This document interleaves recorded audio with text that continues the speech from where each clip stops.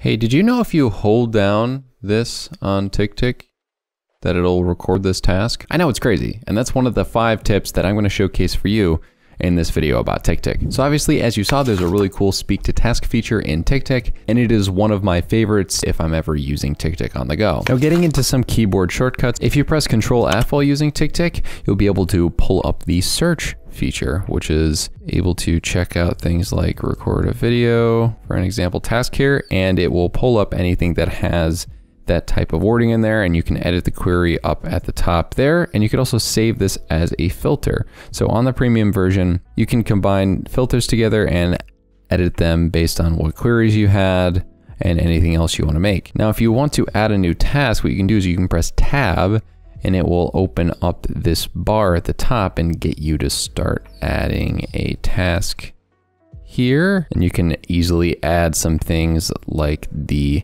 tags that it's a part of with the hashtag or make it a different priority based off of the different things that you put. So I put a exclamation point and I can make it high, medium, low. And then all of these different ones over here have specific keyboard shortcuts as well. So control one, two, three, and four. And then something else to note if you want to get multiple things edited in TickTick at once is if you click on a task and then press shift down to the task that you want, you can get all of these edited at once. So I can press things like done, pin, duplicate, merge, convert to note, copy text, or change things like the date, priority, and tags as well. And then on the mobile app, you also can go to the settings here, go to the tab bar, and what you can do is you can pick the five different things that you want, or you can change the number of tabs. So say I wanted to only have four things here, but I wanted to do these few things. I could change it so that it's only four tabs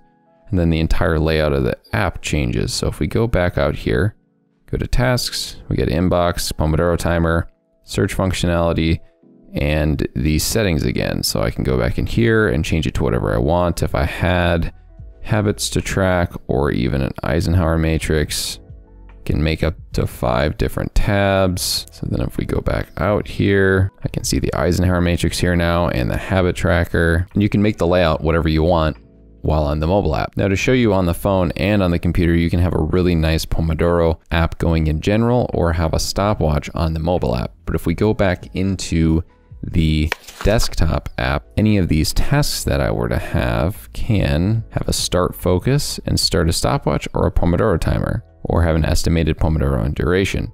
So if I start Pomodoro timer, this will connect it to the task name. So you can see this is called work task. If I click on this and press done, it would finish the task, but then it would keep the Pomodoro session going. And it tracks how many Pomodoro sessions you've done. You can put a daily Pomodoro goal, a weekly goal, and all that can be changed in settings here. Then if you click on this, it'll bring up statistics on the website for you. You can also turn on different white noise. If you have the premium version, there's just clock if you are on the free version. Another trick I have are the different integrations that are there. And if you go to the Gmail one, you can easily go to the G Suite Marketplace. So it's not a Chrome extension, but you can install this. And then once it's installed, you then have it successfully installed in that. So we go to Gmail and you'll see it's installed right here.